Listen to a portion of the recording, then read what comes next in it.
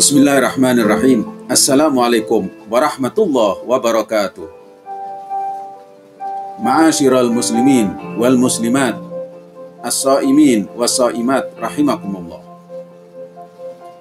Wabah corona belum berlalu.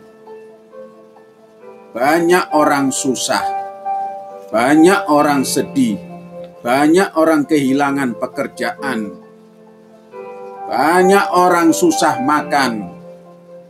Tiba-tiba umat dibuat heboh dan bingung dan tambah pikiran dengan kontroversi duhon bencana hari Jumat 15 Ramadan tahun 1441 Hijriah atau 8 Mei 2020 Tidakkah mereka membaca bahwa Duhan dalam surat Ad-Duhan adalah azab yang pedih bagi orang-orang yang tidak beriman. Lalu kenapa orang-orang yang beriman mesti takut?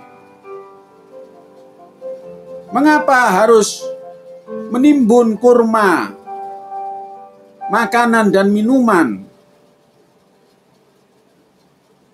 mestinya kita diajak untuk meningkatkan keimanan dan ketakwaan dalam rangka menyambut akhir zaman.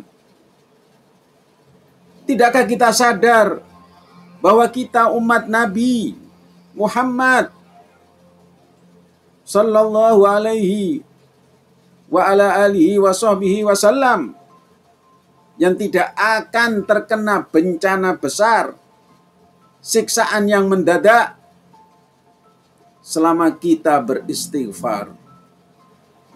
Surat Al-Anfal ayat 33. Ya, tidak semua orang cerdas dan cermat membaca tanda-tanda akhir zaman. Kita semua tidak ragu dan sepakat bahwa semakin hari, semakin bulan, semakin tahun kita semakin dekat pada gerbang akhir zaman. Yang jadi masalah kalau Anda melakukan tadbik yaitu mencocokkan, menggatuk-gatukkan, menunjukkan dan mengisyaratkan bahkan memastikan satu peristiwa, satu bulan, suatu tahun, apalagi dikatakan hari ini, bulan ini, tanggal ini sebagai hari turunnya azab yang berupa Tuhan alias asap yang menyelimuti bumi selama 40 hari, 40 malam. Mari belajar dari sejarah. Jas merah, kata Bung Karno. Jangan sekali-kali kita melupakan sejarah. Ada paham yang menyimpang yang bernama wakifiyah yang sering menggunakan tatbik ngepas-ngepaskan tanda-tanda akhir zaman dalam banyak kasus dan orang. Bahkan Sayyidina Musa Al-Kadim mereka klaim sebagai Mahdi yang dijanjikan. Dan paham seperti ini semakin dekat akhir zaman, semakin tumbuh, semakin banyak dan mewabah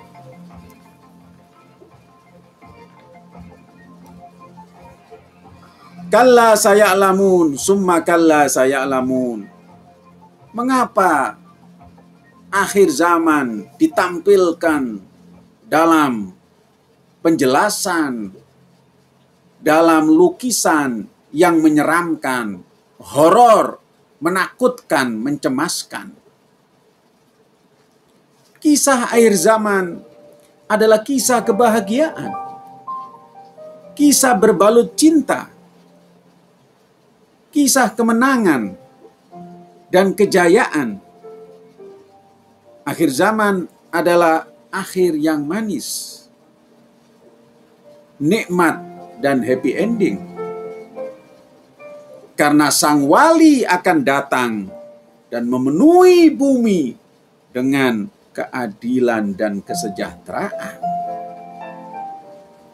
Saking sejahteranya nanti akan lihat serigala akan berdampingan dengan kambing dan saling menggendong. Tidakkah kalian membaca surat Al-Anbiya ayat 105 bahwa bumi akan diwarisi oleh hamba-hamba yang soleh. Tidakkah kalian menelaah hadis-hadis sahih. Dari sahabat Abi Sa'id Al-Khudri radhiyallahu an wa ardah bahwa baginda Nabi bersabda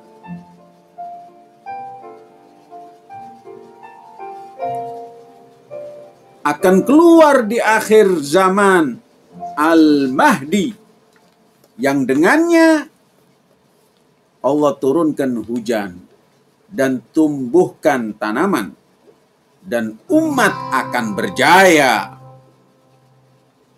Ubashirukum bil mahdi fayamla'ul arda qistan wa adla kama muliat jauran wa dulma.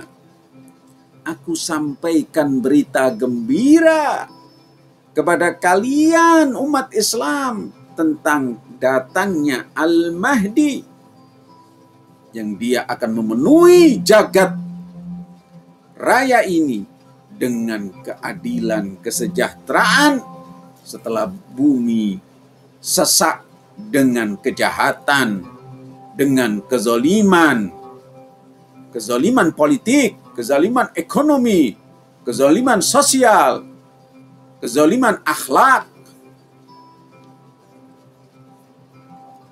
garis bawahi bahwa Nabi mengatakan bahwa kedatangan beliau adalah kegembiraan. Akhir zaman adalah kegembiraan, adalah bisyara. Karena datangnya orang yang akan menyelamatkan umat manusia. Summa la khair fil aish ba'da. Di akhir hadis itu Nabi mengatakan bahwa kehidupan tidak akan indah lagi. Tidak ada kebaikan lagi setelah sang wali pergi. Setelah orang yang paling dicintai Allah di zamannya tidak ada. Barang siapa meninggal dan tidak mengenal imam zamannya, maka dia berada dalam kematian jahiliyah. Maka hidup tanpa bimbingan seorang pemimpin adalah hidup dalam jahiliyah. Al-Habib Abu Bakar Al-Adni punya pesan bagus dan nasihat yang indah bagi mereka yang meyakini Jumat ini akan terjadi dukhon. Dengarkanlah nasihat dari Al-Habib yang mulia dari Yaman ini. Apakah Anda baca fikih tahawulat? Fikih tentang perkembangan zaman yang digagas oleh beliau.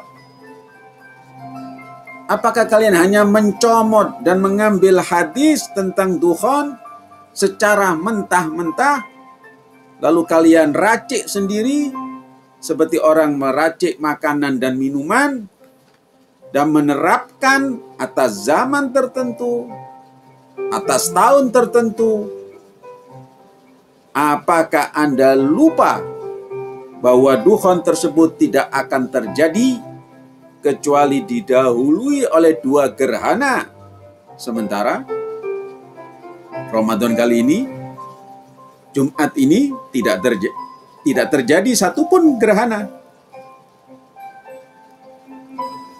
Soal bahwa kemungkinan ada meteor atau komet yang menabrak bumi tidak ada nasnya, tidak ada dalil yang mengisyaratkan itu. Yang ada cuma diisyaratkan tentang suara dentuman keras dari langit. Kita nggak bisa percaya kepada badan antariksa 100%. Ya. Kita hanya percaya kepada nas, hadis, dan Al-Quran. Demikian kata Al-Habib Allama Abu Bakar Al-Adni. Wahai ulamaku, berikan harapan indah pada umat yang sedang sedih sekarang karena wabah ini. Banyak orang yang mengeluh di sana sini, menangis di sana sini, menjerit di sana sini, di sana sini. Wahai tokohku, motivasilah umat ini untuk melalui dan mampu melalui masa-masa sulit ini dan sampaikan kepada mereka, tanamkan kepada mereka inna ma'al usri yusra. La tahzan bahwa setelah kesulitan-kesulitan ini ada kemudahan dan itulah hukum sunnatullah. Alam ini tegak berdasarkan keadilan, berdasarkan kebaikan, berdasarkan rahmat, berdasarkan kasih sayang. Adanya keburukan itu sangat sedikit. Adanya penyakit itu sangat sedikit yang ada adalah kesehatan, yang ada adalah keamanan, yang ada adalah kebaikan. Dan itu adalah sunnatullah sepanjang sejarah. Wahai panutanku, doakan umat ini supaya yang sakit disembuhkan, yang wafat diampuni dosanya, yang teraniaya ditolong dan dimenangkan. Allahumma kshif al-bala wal waba an hadhihi al-umma. Allahumma shfi mardana. Allahumma arham mautana. ربنا تقبل منا انك انت السميع العليم وتب علينا انك انت التواب الرحيم دعواهم فيها سبحانك اللهم وتحيتهم فيها سلام واخر دعوانا ان الحمد لله رب العالمين والسلام عليكم ورحمه الله وبركاته